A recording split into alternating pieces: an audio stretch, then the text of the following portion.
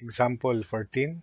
Derive the proportions for an efficient isosceles triangular section. So this is the section. Let's call the angle theta here, the depth d. Then again, area, roughness factor, and roughness coefficient and the slope are fixed or given. It is the perimeter that must be minimized. So from the figure, this slanted side, because this is theta over 2, cosine theta over 2 is depth over slant side. So this slant side is depth over cosine theta over 2. The area therefore is 1 half of d over cosine theta over 2 quantity square times sine of apex angle theta. Because this is supposedly d over cosine theta over 2, d over cosine theta over 2. And the area of a triangle is 1 half product of adjacent sides these are the adjacent sides that are uh, equal sine of the included angle. So simplifying, area is d square over 2 times secant square of theta over 2 because 1 over cosine theta over 2 is secant theta then square times sine theta. So if on the other hand perimeter is 2 times d over cosine theta over 2 or 2d secant of theta over 2. Now we have here 2a over sine theta is d square secant square theta. If we extract, extract the square root, then d secant of theta over 2 from this equation is square root of 2a over sine theta. So which we will replace here d secant theta over 2 is square root of 2 area over sine of theta. So perimeter therefore is 2 then square root of, from this equation, we have d square secant square theta over 2 or by extracting the square root, it is square root of 2a over sine theta, which is now this one. Then take note that a is constant, so we can rewrite this as perimeter equals 2 times square root of 2a, then sine of theta to the negative 1 half.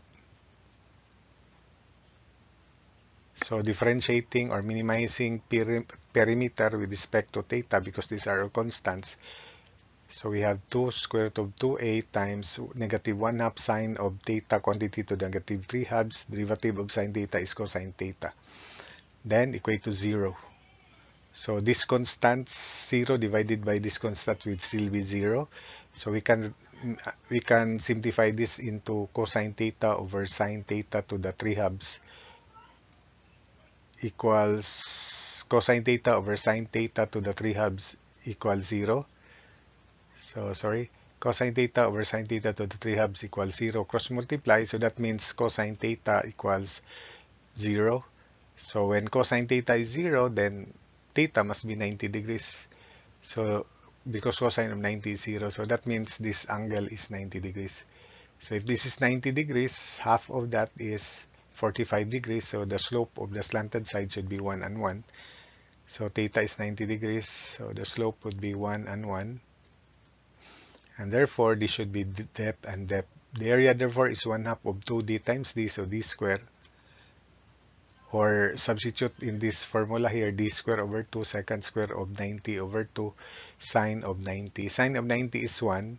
Secant of 90 is square root of 2. So secant square of secant square of 45 rather Secant of 45 is square root of 2 so secant square of 45 is 2 so 2 over 2 cancel.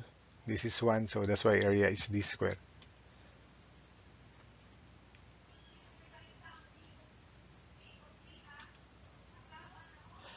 Then the